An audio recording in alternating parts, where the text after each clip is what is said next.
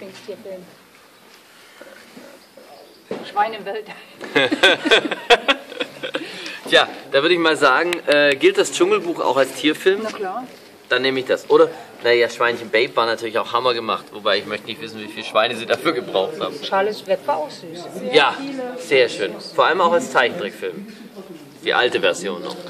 Die kenne ich gar nicht, aber die werde ich mir mal einziehen. Cool. Das geht Gerne. ja auch total. Ja, das kann ja.